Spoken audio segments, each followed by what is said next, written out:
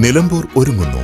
വലിയ മാറ്റങ്ങൾക്കായി ചരിത്രത്തിന്റെ ഭാഗമാവാൻ ശോഭികയും വരുന്നു. ഉദ്ഘാടനം മാർച്ച് ഒൻപത് ശനിയാഴ്ച രാവിലെ പത്ത് മണിക്ക് Shobhika weddings Nilambur. D C C പ്രസിഡന്റിനും Wandoor M L എക്കുമെതിരെ പാണ്ടിക്കാട് ഒരു വിഭാഗം കോൺഗ്രസ് പ്രവർത്തകർ രംഗത്ത്.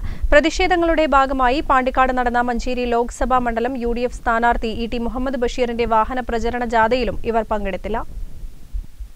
പാണ്ടിക്കാട് ബ്ലോക്ക് ആര്യാടൻ ഫൗണ്ടേഷന്റെ നേതൃത്വത്തിൽ വ്യാപാര ഭവനിൽ ചേർന്ന യോഗത്തിലാണ് ഒരു വിഭാഗം ഡി സി സി പ്രസിഡന്റിനും വണ്ടൂർ എം എൽ എക്കുമെതിരെ രംഗത്തെത്തിയത്. പാർട്ടിയിലെ പ്രശ്നങ്ങൾ പരിഹരിക്കാൻ ഡി സി സി പ്രസിഡന്റ് തയ്യാറാവുന്നില്ല എന്നും ഡി സി സി പ്രസിഡന്റും എം എൽ എയും ഉൾപ്പെട്ട പുതിയ ഗ്രൂപ്പിലേക്ക് ആളുകളെ ചേർക്കുന്നത് മാത്രമാണ് നടക്കുന്നതെന്നും ഇതുകാരണം ജില്ലയിലെ പതിനായിരക്കണക്കിന് വരുന്ന കോൺഗ്രസുകാർ നിർജീവമാണ് എന്നും ഇവർ ആരോപിക്കുന്നു. പ്രശ്നങ്ങൾ പരിഹരിച്ചില്ലെങ്കിൽ ലോക്സഭാ തെരഞ്ഞെടുപ്പിന്റെ ഭാഗമായി വിപുലമായ യോഗം ചേർന്ന് ഭാവി പരിപാടികൾ തീരുമാനിക്കേണ്ടി വരുമെന്നും യോഗം മുന്നറിയിപ്പ് നൽകി.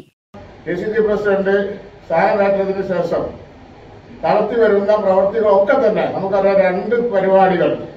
ഭാരത് ജോഡോ യാത്രയും കെ സുധാകരൻ നടത്തി നടത്തിയ ഏറ്റവും കേരളത്തിലെ ഏറ്റവും നല്ല പരിപാടിയും നടത്തിയ ഒരു ബ്ലോക്കാണിത് ആ നടത്തിയ ബ്ലോക്കിൽ നമുക്കറിയാം പാർട്ടി പ്രവർത്തകരെ ആയിരക്കണക്കിന് പാർട്ടി പ്രവർത്തകരുടെ വികാരമല്ല അദ്ദേഹം ഉൾക്കൊണ്ടത് മറിച്ച് പറയാതിരിക്കാൻ നിർവാഹമില്ല അദ്ദേഹം ഉൾക്കൊള്ളുന്ന ഒരു ചേരിയിലേക്ക് ആളുകളെ വലിച്ചു കൊണ്ടുപോയി അല്ലെങ്കിൽ കൂട്ടിക്കൊണ്ടുപോയി അവർക്ക് സ്ഥാനമാനങ്ങൾ നൽകുന്നതാണ് നമ്മൾ കണ്ടുവന്നത്.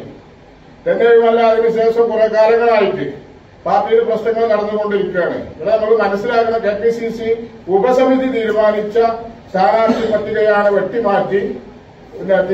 തികച്ചും പക്വതയില്ലാത്ത രീതിയിൽ ഡി സി സി പ്രസിഡന്റ് പെരുമാറിക്കൊണ്ടാണ് ഇന്ന് ഈ ജില്ലയിലെ പ്രശ്നങ്ങൾക്ക് തുടക്കം കുറിച്ചത്. ബന്ധപ്പെട്ട പറയാതിരിക്കാൻ നിർവാഹമില്ല വണ്ടൂർ എം എൽ എയും അതിന് കൂടെ കുട പിടിച്ചു കൊടുക്കുന്നു എന്ന് ആരോപിക്കാതിരിക്കാൻ നിർവാഹമില്ല കഴിഞ്ഞ മണ്ഡലം പ്രസിഡന്റുമാരുടെ പുനഃസംഘടന മുതലാണ് പ്രശ്നം തുടങ്ങിയത്. ആര്യാടൻ മുഹമ്മദിന്റെ കൂടെ നിന്നവരെ വെട്ടിനിരത്തിയുള്ള നേതൃത്വത്തിന്റെ മുന്നോട്ടുള്ള പോക്ക് അംഗീകരിക്കാൻ കഴിയില്ല എന്നും യോഗം മുന്നറിയിപ്പ് നൽകി.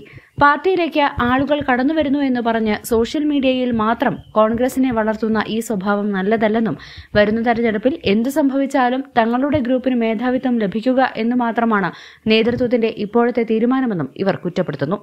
News bureau Pandikkad. തലമുറകളെ അണിയിച്ചൊരുക്കിയ വിശ്വസ്ത പാരമ്പര്യവുമായി P A K Textorium Wandoor. ഈ ഓണം പി എ കെയോടൊപ്പം